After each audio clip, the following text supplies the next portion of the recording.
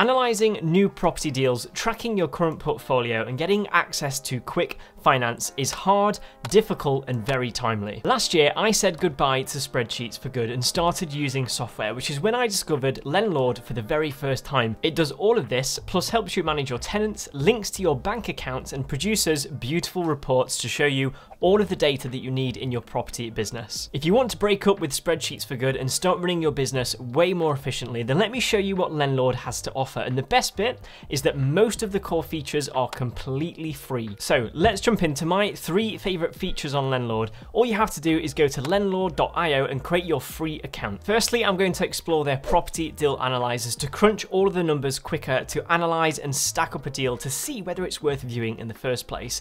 Secondly, we're going to explore the portfolio analyzer to look at all of the properties that I have put together, the amount of equity that I have in the portfolio, and how much the total loan to value is with all the lending versus how much I own in property. And lastly, I want to explore the online digital broker to show you how quick and easy it is to get access to all of the current rates in the market to work out how much a mortgage is going to cost you on a buy to let property. These three key pieces of the puzzle of your property business will help you analyze deals quicker and more efficiently, get access to better finance, and manage your whole portfolio with all of the stats that you would ever need. First thing is first, speed and automation is completely everything. Here on the Deal Analyzer, all you have to do is simply type in the address. So if I use this address, and look at some of the information, it pulls up everything you need to know. So I know that it's a semi-detached house, I know what the EPC is, I know the total floor area, and the average yield for that postcode area. Now if I take this address and put in some of the example figures my recent buy-to-let, I purchased it for £106,000. The monthly rent is £780 and the refurb cost me £17,000. The property value now is about, based on the sold comparables from what I can see, £175,000, which is a really healthy return on investment. I know that I paid £3,180 on the stamp duty, and that pretty much sums up the basic costs of this. Even if I'm estimating part of a refurb and trying to understand how to stack a deal that doesn't yet exist, this is a really simple thing to do, as long as you're estimating the 7, 14, 21,000 pound rule where 7,000 pounds is a basic refurb, 14,000 includes having a bathroom and a kitchen, or 21 plus if you're looking at a full rewire, full brand new plumbing, as well as then bathroom, kitchen, and all of the cosmetics on the inside. So I know on this particular deal, the all-important figure that I really, really stand by is return on investment. This really helps you understand how much money and return you have on the money that's been invested based on the profit you have. And in the first year, this is due to be 135%, which is incredibly, incredibly healthy. That means that I have made more money than what I put into the project initially because of how hot this market has been this year, which is great. I can also really quickly work out the net annual cash flow monthly. So I know that I'm going to be getting around 400 £92 a month after the mortgage costs. And that means I have about £5,900 every single year net income after all of those costs. And that is going to be reinvested back into the business. I can then tweak some of the loan details. So I got a 75% loan to value mortgage, which was £79,500 plus then the product fee that I owe the bank. And that was over, I believe, 30 years. And then the most exciting bit of this is that you can look into the future. Property investing is not a short term strategy. If you're flipping properties, yes, completely get it. But at the same same time, it's all about holding on to the assets and realizing their value over a longer period of time. So if we made an assumption that if I held the property for 10 years and we had an annual appreciation of around 4%, at the moment it's really crazy, it's about 8 to 9%, but I'm sure that will settle down at some point possibly factoring in a crash in the next 10 years. That means that the long-term ROI over those 10 years is going to be 418%, which means I've got a really healthy investment here.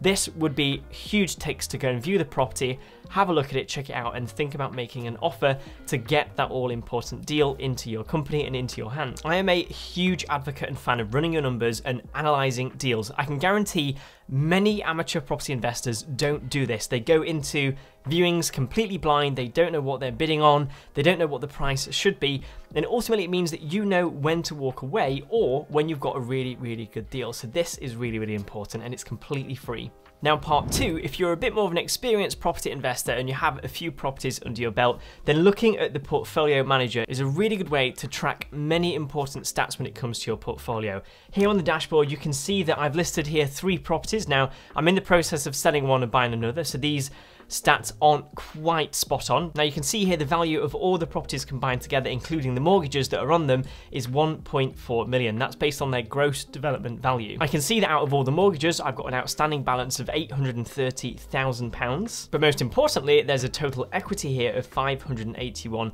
thousand pounds, which is really, really healthy. That is the property values combined together minus what I owe back on the mortgages. If I repaid all the mortgages, that's what's left at the end of it, which is really, really good. It also shows things like the property appreciation over time, so how much you've bought them for versus how much it's worth today. So £400,000 of that is purely through appreciation. And then you can also look at your loan to value. This helps you understand how highly or lowly geared you are in terms of the lending that you have on your portfolio. So the higher this is, the more risky your portfolio is because you're lending and borrowing more money. And then as well, you can also track your entire rental portfolio income for all of the rent that comes in. Now, Two of these properties are personally owned by me, and obviously we're buying one and selling another. So I've popped in what they would be worth in terms of the rental income to show you and demonstrate what that would be. So I can see here that if I rented all three places out, I'd have a monthly rental income of £4,780.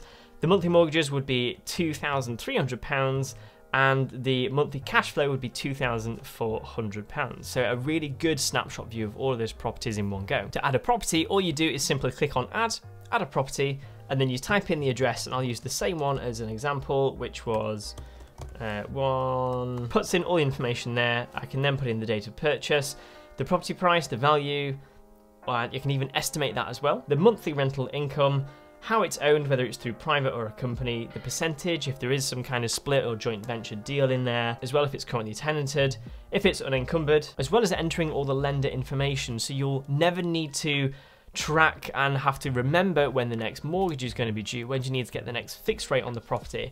You can even go into more detail further down here and go into things like the utilities to understand which utility companies are looking after these properties if you've got HMOs for example and shared accommodation. And most importantly, you don't want to be forgetting things like electrical and gas safety certificates. So here, you'll always keep track of the certificate you have when it was given and then when it expires so you'll know when to get brand new certificates on each property if you're self-managing or even to chase your estate agents. You can even go as far as looking at the bridging finance. If you're looking to renovate a property and flip it and sell it on or refinance it and hold on to it, you can put in all of the bridging finance information here. You can also put in all of the estate agent information you name it, there is a lot of information you can put into this portfolio page where you do not need to store any other information anywhere else apart from here, which is really, really handy because it's all one single source of truth in a central place. And last but no means least is the really simple, quick and easy online mortgage broker. Now there are two ways to do this.